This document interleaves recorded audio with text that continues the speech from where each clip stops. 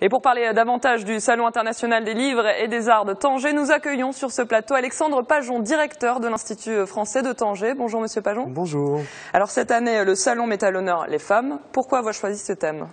C'est-à-dire que le Salon international de Tanger, c'est un salon des livres et des arts, mais par tradition, pour cette 19e édition, il touche et il essaie de traiter des questions centrales pour le Maroc. Il y a eu des questions sur la mémoire, des questions sur la langue. Ces dernières années, on a traité du numérique une fois, de l'éloge de la lenteur, l'année dernière des Afriques. Et en fait, sur ces dernières années, on s'est rendu compte qu'il y avait une constante.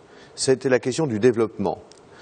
Et le développement, il est entièrement, je dirais pas entièrement, mais fondamentalement lié à la place, au statut des femmes dans les sociétés d'Afrique du Nord, d'Afrique ou du monde entier. Donc on va bien sûr avoir des écrivains, des auteurs, des artistes, mais aussi des sociologues pour réfléchir et débattre sur les manières de donner l'éducation aux filles, la place aux femmes dans la société, dans l'économie et dans le système politique et administratif.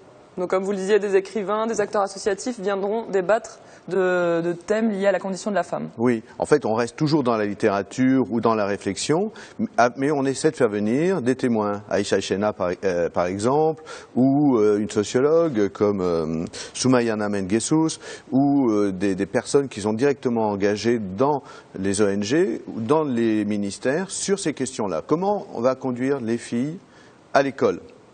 Comment traiter dans les campagnes la question de la scolarisation des filles et la construction donc des équipements dans les écoles qui leur permettront d'y aller normalement. Il y a là donc toute une série de questions qui sont à la fois très concrètes, théoriques, mais on va donner la parole aux femmes. C'est ça la, spécificité, c'est-à-dire que les deux tiers de nos invités sont des femmes, des femmes majoritairement du Sud. Il en viendra bien sûr des États-Unis ou d'Europe, d'Europe centrale, mais il en viendra aussi de, Syrie, du Liban, euh, du Sénégal, euh, du Maroc, d'Algérie pour que cette question des femmes ne soit pas vue simplement au, prisme habituel de la question féministe, mais réellement au prisme des réalités d'Afrique du Nord et du Maroc en particulier. Donc on est vraiment dans une logique de donnons la parole aux femmes, comme l'année dernière, on a dit donnons la parole aux Africains pour parler d'elles-mêmes ou pour parler d'eux-mêmes. Alors, outre les rencontres, les tables rondes, le salon du livre, c'est bien sûr des stands euh, à découvrir, un espace pour les enfants, de la musique. Quels seront les temps forts de cette euh, nouvelle édition? Bon, si vous voulez, les temps forts, ce seront bien sûr des rencontres avec de grands écrivains.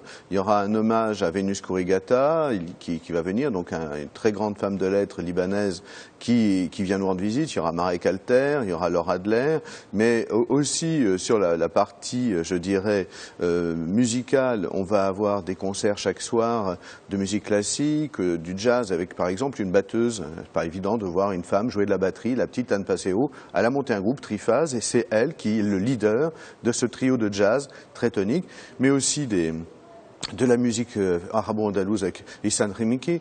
Donc on va y voir dans l'écrin du palais, à la fois du débat, du solide, du dur, mais aussi des moments de, plaisir et de débat. Et on a commencé hier soir, et l'objectif, c'est que les invités, comme le public, se retrouvent sans aucune frontière. On n'est pas dans une foire, on est dans un véritable salon où l'on débat, où l'on échange, avec un esprit d'ouverture totale, et dans toutes les langues, qui plus est.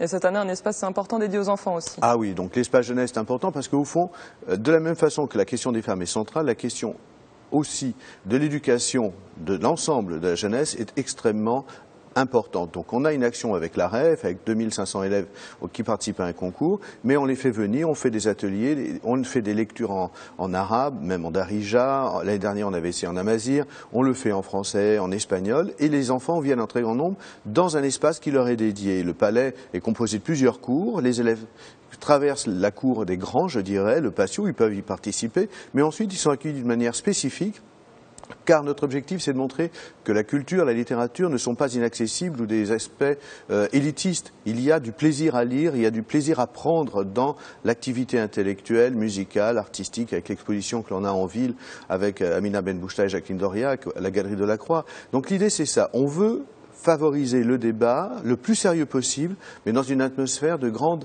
décontraction, de, cordialité, et, finalement faire en sorte que le public reparte pour continuer de débattre. On n'est pas là pour donner des réponses, ce n'est pas un colloque universitaire, c'est vraiment un lieu de débat et de rencontre, mais il y a quand même dans ce salon un peu plus de monde que dans votre salon, c'est-à-dire qu'on va être 17 à 18 000 personnes euh, cette année. Ce n'est pas les 300 000 personnes qui vont à Casablanca, mais les gens qui viennent là s'assoient, profitent, écoutent, les enfants repartent avec des livres et quelque chose, je l'espère, dans leur cœur, et surtout les filles qui sont là majoritairement, parce qu'elles sont minoritaires à l'école, majoritaires vers le bac, et ce sont les meilleures des élèves.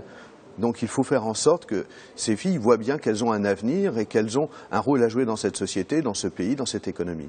Rendez-vous donc donné au public jusqu'à dimanche au Palais des institutions italiennes. Merci, Merci d'avoir été avec nous. Merci.